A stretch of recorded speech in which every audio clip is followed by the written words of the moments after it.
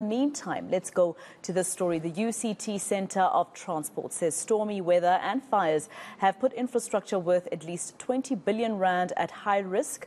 To tell us, to tell us more rather about this and how technology can be used to protect infrastructure, we're joined uh, by Rudie Opperman. He's the Middle East and Africa Manager for Engineering and Training at Axis Communications. Thank you so much for your time. Now, the specific challenges posed by extreme weather to critical infrastructure infrastructure is quite dire. We see it every time.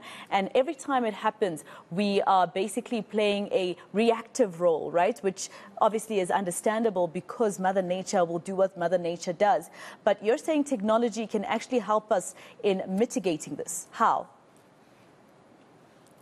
Yes, thank you. It's good to be here. Um, of course, we weather is not something we can stop, and uh, at best, what we can try and do is try and understand it better, try and detect it early, um, maybe analyze trends and understand what the impact will be.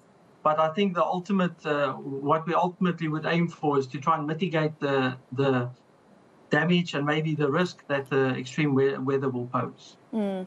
And now the potential of smart technology as a tool that can be adapted to address these challenges.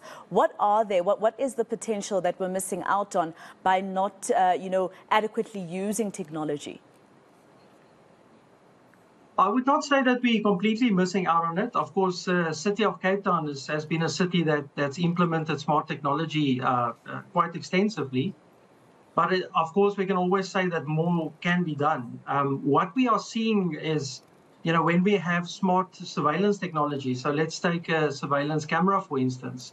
Um, these days, what, what we are able to do is these systems or these surveillance cameras can coexist with other smart uh, technologies as well.